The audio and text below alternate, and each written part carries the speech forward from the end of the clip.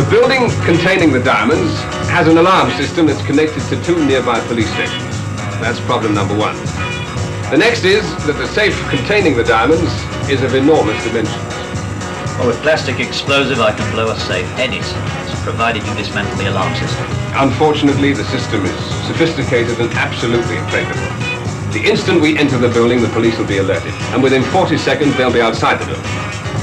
Doesn't give us much time.